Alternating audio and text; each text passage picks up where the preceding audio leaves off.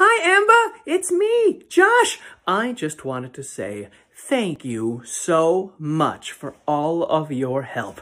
There is no way that I could have figured out any of those clues without you. You are just so smart and kind and hardworking. A true clue-finding expert. And I am so, so lucky to call you my friend. Speaking of which, I am personal friends with Leighton and Sian. Hi! And they tell me that you are just the best. They love you so, so much. And that it's your!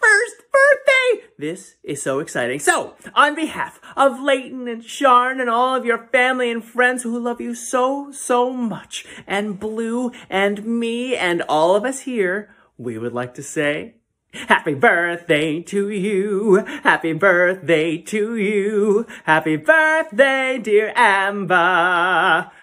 Happy birthday to you. Amber, I hope you have a fantastic, fantastic birthday because you deserve it. And I can't wait till we get to play Blues Clues together again soon. But until then, happy birthday. Bye.